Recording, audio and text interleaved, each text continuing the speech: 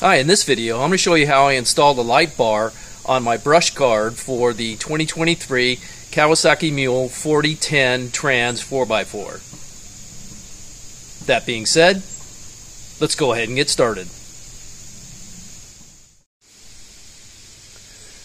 This is just a quick unboxing of all the parts so I can take a look at it. It's already been open. Here's the light bar.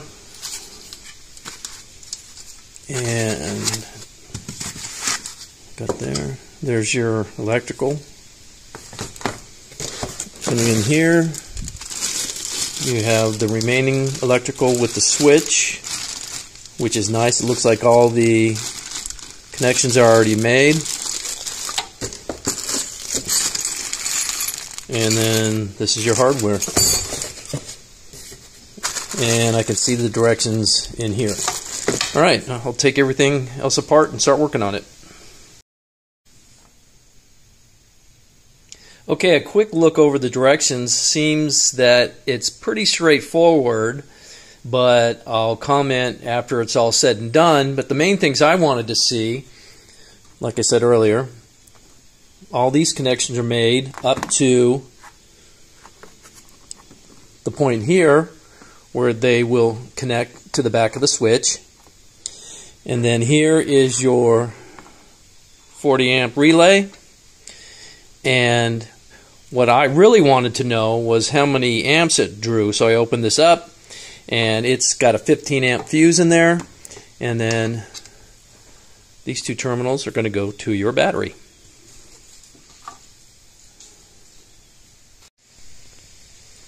Okay, one negative of this kit is there's no installation instructions for the light bar itself. And so I went through the package that had all the hardware in it, and I think I have it figured out. So I've laid up the bolts and washers and lock washers and everything where it should be. So I'm assuming the two larger hex head bolts are going to attach these two brackets to the brush guard of my UTV and then all those little smaller one quarter by 20 bolts are going to be used to attach the light bar itself to the brackets. Alright, now I'm looking on the left side of the interior of the dash and you can see here that's where I ended up mounting the toggle switch and what worked out great about that is if you look real close before you mount this in there, there's an etched out rectangle on the dash itself for you to make a cutout. So what I did was I just went in there with a box cutter and used that to cut out the rectangle and then this switch drops right in. So I ran my wiring down in there, down through here, and then what I did was to keep it hidden, I just disconnected all those pieces there with the screws and then ran the wiring harness underneath those up against the bar underneath and then up through here into the battery section here. And this is the fuse that comes with the kit. And then this is the relay that I just attached here. Just drill the hole and attach it, and it's nice and tight, and the seat shuts no problem. And what I will mention is, and I don't know if I can get in here and look at it, but if you look at those nuts that are on the end of the battery, maybe if I keep my finger, it'll keep it in focus. What they are is they're like reversed T-nuts. So there's a flange section that goes into the terminal of the battery, which the bolt on the other side screws into. So the only way I could get them out was to go ahead and use like a flathead screwdriver and tap them slowly until they were loose enough where I could take them off by fingers.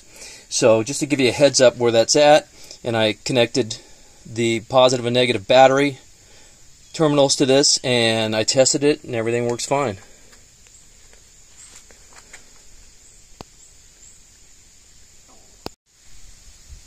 I'm going to show you where I ran the wiring from the front of the side-by-side -side into the dashboard area. So as you can see here, I ran it through the grill into the front storage area. So I'm just going to lift this up. And you can see, like I mentioned before, how that sits on top there of the light bar. But it still gives you plenty of access to this front storage area. So then I ran it up through there, just drilled it out. It's real thin plastic. Ran the wiring through there. And again, another hole through there in order to drop it down behind the dash. And then I use those stainless steel wire clamps that are insulated with rubber.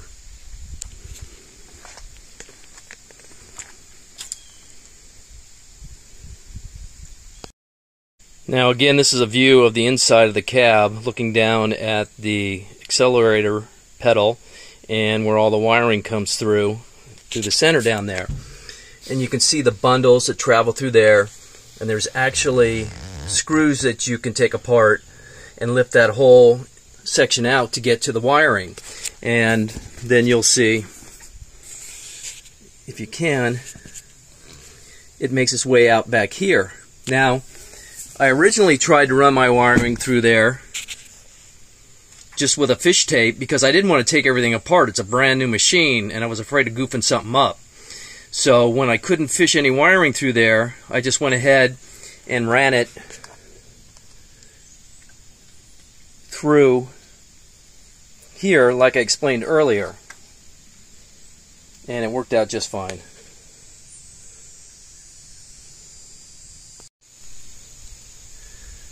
This is a view of the final install and you can see that I attached it to the top bar of the brush guard and that worked out really well because it doesn't block any of the radiator surface area although there was one little thing that came up when I opened the front compartment section it does lay on top of the bar but I'll trade that off for making sure that this thing stays cool.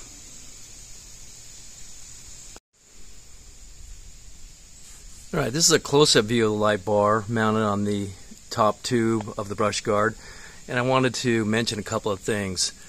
First off, this was the original stock mount for this light bar and you were supposed to drill a hole wherever you wanted to mount it and I decided against that so I ended up buying these clamps right here to attach it to the top tube and I'll put a link for that in the narrative section and by doing this it allowed the bar to be pushed out further away from the front body of the side-by-side -side, giving me a little bit more space in there to open the front hood and when you do this there's this protective grating in here that sits in front of the radiator along behind the brush guard. So in order to make this fit, wherever you decide to mount these, you're going to have to cut a little section of these things out so you can wrap those clamps around it.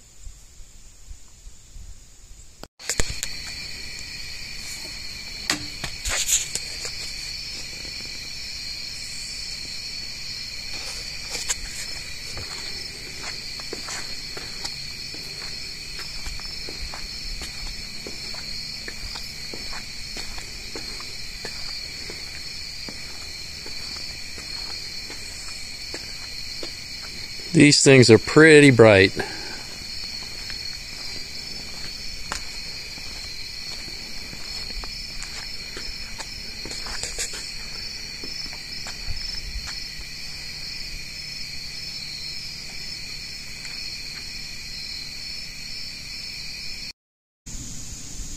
So that's it. If you have any questions, please leave them for me in the comments. Thank you.